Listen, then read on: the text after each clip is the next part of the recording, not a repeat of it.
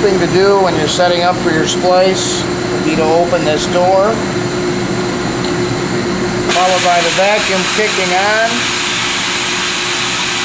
I'll then line up my tape with the upper web, and there's a scale that has been provided.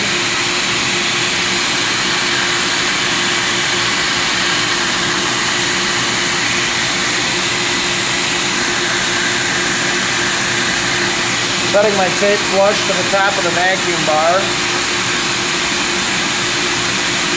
I'll then take my material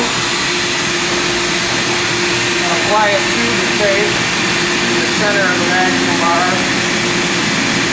allowing enough slack to close the door.